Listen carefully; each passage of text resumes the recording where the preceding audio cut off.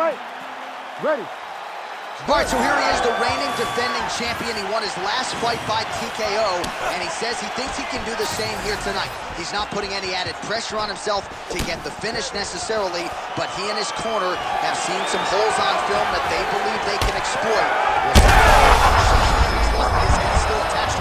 The last time I saw an uppercut like that, it was Overeem versus Ngannou, and you know they still haven't found Alex Overeem's head. All right, bottom fighter here, maybe looking to hip escape, DC. Oh, he's in trouble here, DC. He's got the triangle with a lot of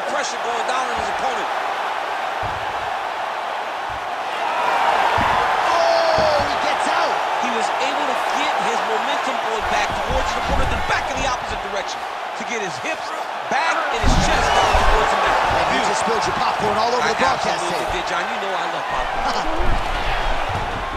Oh, looks like he's got the arm isolated. He's got it isolated, working towards the finish. All right, well, he's got him softened up here. Well, he's on his back now, going for the rear naked choke. We'll see if he can get under the chin. Oh, what a way.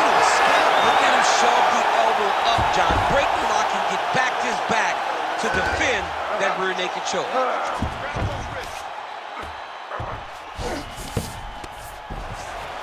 the scramble! Win the scramble! And now he's attempting choke. Ooh, arm triangle's in tight. It's getting in very tight. Oh, gives up on the submission now. We'll see where he goes from here. Well, no surprise there as he lets his opponent stand back up. Right on the button. Oh, nice double leg, yes.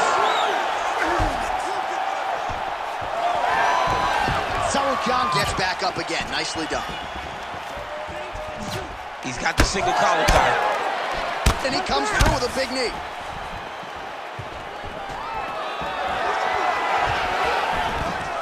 Wow, actually got the takedown. Oh, and he escapes up to his feet. Very nice.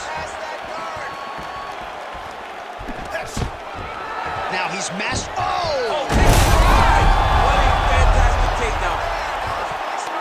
Oh, he's got the knee on the belly. Could be trouble defensively. All right, side control now. We'll see if he can advance position. Inside control, you got a ton of options. He goes knees on belly. Protect your face! Hands up! Oh, nice. Hey, scramble, get up! Scramble! Scramble and get up! Just over two minutes, round one. Oh, right to the mount. Oh, going for the armbar now. That might be tight. Ooh, looks like it might be locked in. Once he gets you going, he's got so many ways to finish arm bars.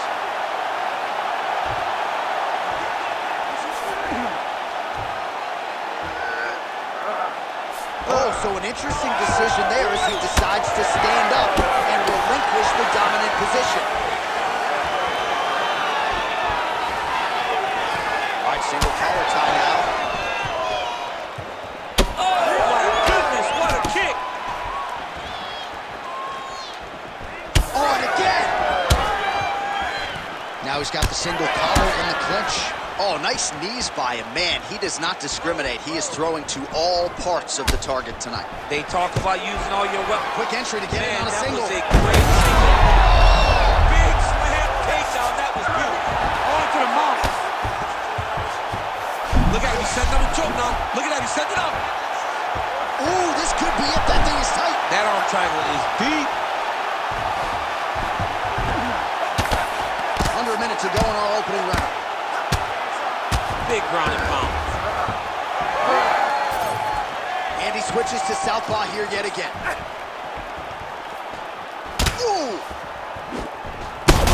Strike lands there, and somehow his opponent's chin held up.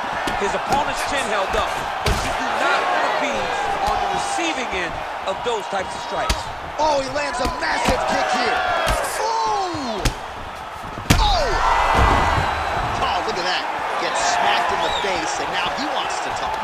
That means that his opponent got him good. Right. Quick entry. Rotates ahead outside to a high crotch. Beautiful transition. He's in the mount. Lands with the ground and pound here. And there it is, another strike on the ground gets through. That horn sounds means we have reached the end of round one. All right, that's the end of the round, so the complexion of this one may have changed a little bit. You see the cut above his eyes sustained in that round. One of the best cut men in the business. He'll get in there and try to close it up before it becomes a bigger issue than it already is. All right, so a big knockdown for him, courtesy of that punch in that round. DC, here's your replay. Big moment in the previous round. They were both fighting very well, but when he landed this punch right here, that's it. You ready to fight? Ready. Second round underway. That's the biggest shot thus far. How's his opponent still I mean, I have no idea. This fight is supposed to be over. And it might not be over now, but it's got to be over very soon. How comes this both men going for the finish? You can finish here. All right, well, he rocked him pretty good, but didn't sort of smell blood in the water, and now his opponent's back in the I fight. mean, blood's in the water. You got to go finish. You got to go find the finish. You cannot let him off the hook like that because now he will be motivated to try to go and hurt you at end. He's got hand skills for days. Beautiful combination of punches to the head. Nice punch to the head. And the takedown attempt, but he does not land it. Big power shot there. These boys are standing right in front of each other, just kind of going at it. Like that.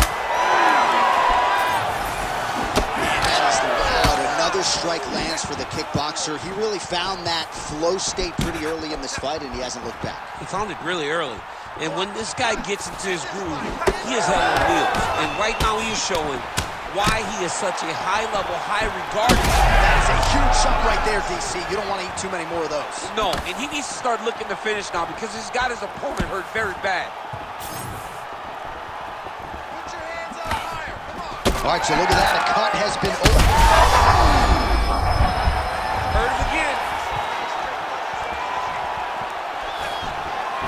Useful strike there. The hook is clean.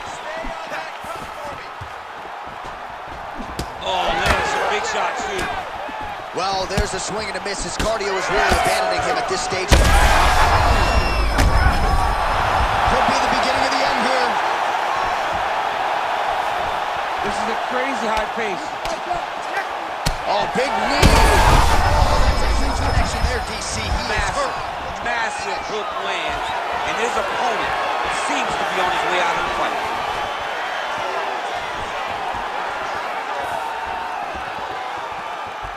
Circling to his right. Champ, look at that redness underneath his elbow. A lot of those strikes to the body starting to pile up. getting beat up and being smart enough to not be headhunting the entire time. I like this. I like this approach. Oh! Really finding the kicking range now. Another one lands there. So a much different approach for him here in this second round. He was a little bit tentative in round one, a little bit of a feeling out process. Now he has clearly found his rhythm, found the range. We'll see if he can continue with more activity here in round two.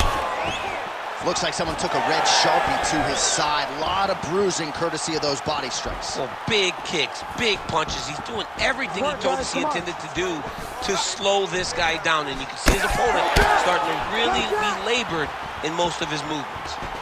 Another shot here. Oh, there's the double leg takedown.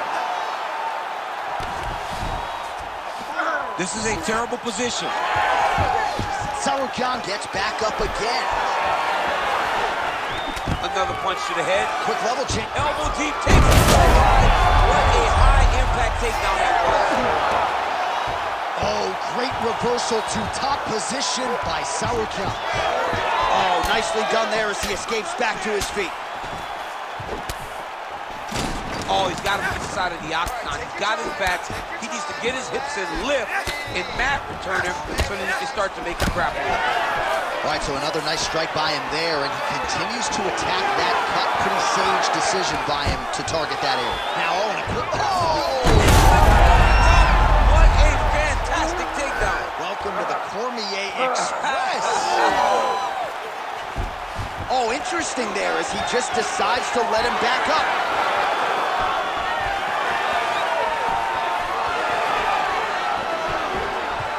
Trying to kick the leg out. Starting to do some really significant damage to the body here. Another strike lands there.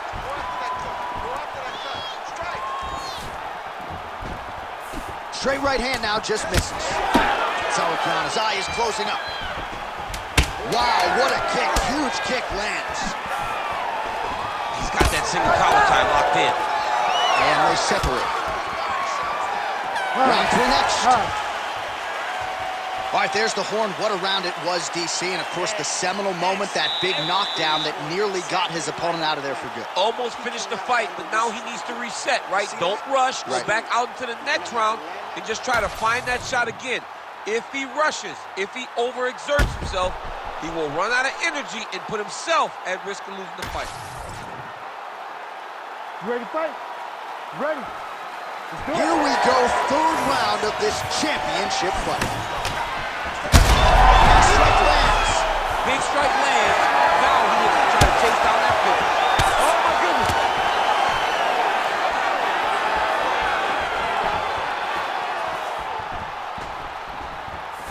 Whiffs on the straight right hand. They hurt him again, bro. Back to his feet. Oh,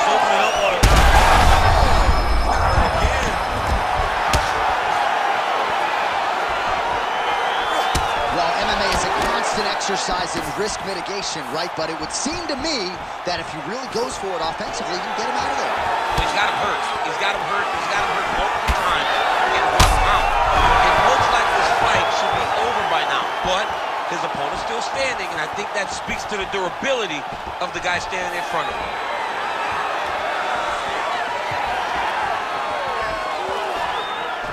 Tsarukyan's taking aim at that cut right now, DC, and you got to admire the fighter IQ, right? Might as well keep landing strikes on a target that you have damaged repeatedly throughout the fight. Well, it's been a wild fight thus far, perhaps a contender for some bonus money at fight's end. These guys are going to have to dig deep. They're both hurt. They're both hurt. You expected it, though. You expected a close fight. You did not. Oh, what a shot to the body. His opponent crippled, but not out yet. He's trying to keep a good poker face, but he's hurt very, very bad. Oh, that's big. And just misses with that big right hand.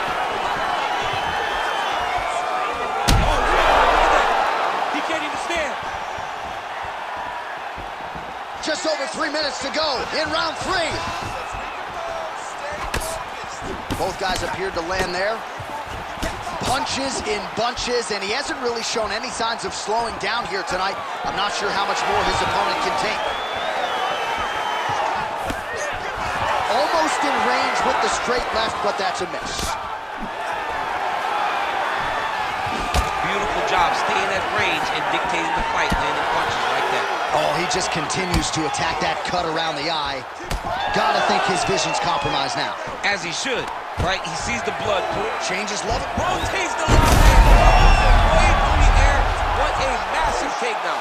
Yes, smart adjustment. Yep. All working hard to get back up again, and he's there.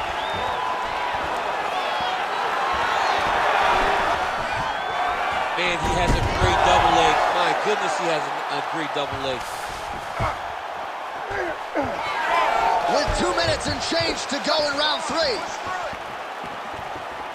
Well, we got a lot of blood now, ladies and gentlemen. I think my mother just turned off the TV, but every time that... Oh! Oh, my goodness. Hey, stop.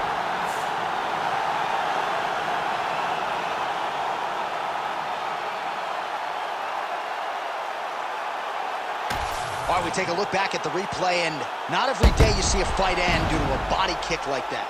That was a massive body kick, snuck it right under the elbow. Once it landed, you knew the fight was about to be finished.